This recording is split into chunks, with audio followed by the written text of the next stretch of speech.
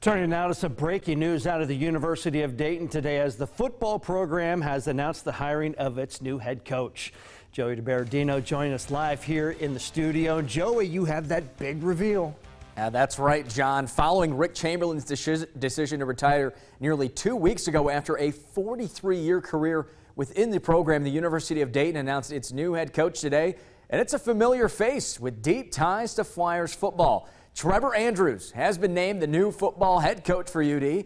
Andrews, a former safety for the Flyers, was a part of three Pioneer Football League championship teams in the late 90s under Mike Kelly. Andrews brings 25 years of collegiate football experience, most recently a linebackers coach you see here at Western Michigan for four seasons. Prior to coaching for the Broncos, he was at William & Mary for 18 years as well. In his initial statement, Andrews said, quote, I came to realize that coaching at the University of Dayton was my dream job. I'm humbled to be at the Dayton football be the Dayton football coach.